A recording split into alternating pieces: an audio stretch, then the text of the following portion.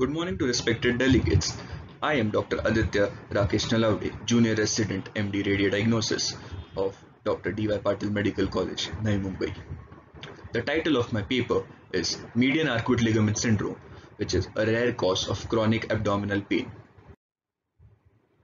Aim was to evaluate the patients with chronic abdominal pain with median arcuate ligament syndrome, a rare syndrome detected incidentally on routine computed tomography of abdomen pelvis.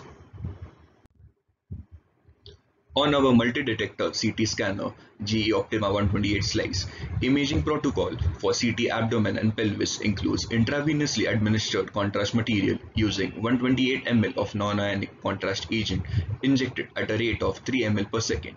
Scans are obtained during both the arterial and venous phases to ensure opacification of arteries and veins. Multiplanar 3D imaging is also valuable in identifying the hemodynamic significance of the narrowing and is important for planning the treatment.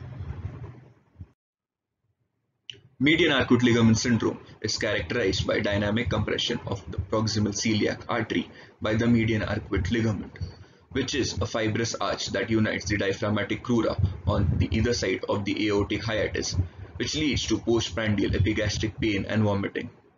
These symptoms are usually non-specific and are easily misdiagnosed.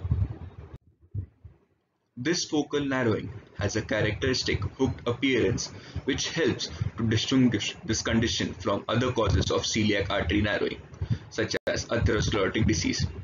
Median arcuate ligament syndrome is one of the abdominal vascular compression syndromes which was initially described by Harjola in 1963. It usually affects young women in the age group of 20 to 40 years.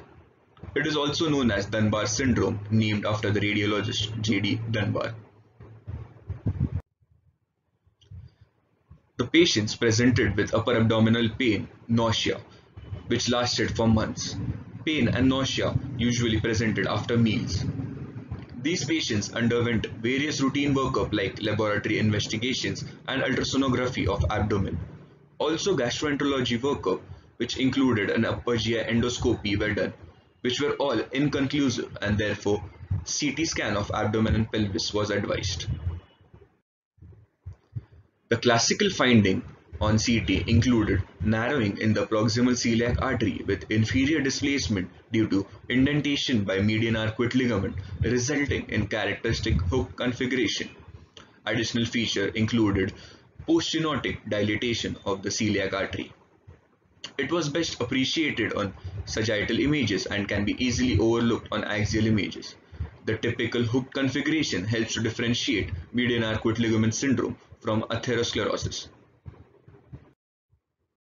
These were the sagittal and axial images of the patient that were screened, in which we could see a classical hooked appearance of the median arcuate ligament syndrome around the median celiac artery and poststenotic dilatation of the celiac artery.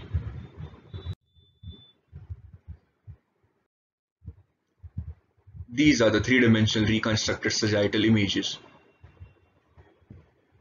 which showed the same.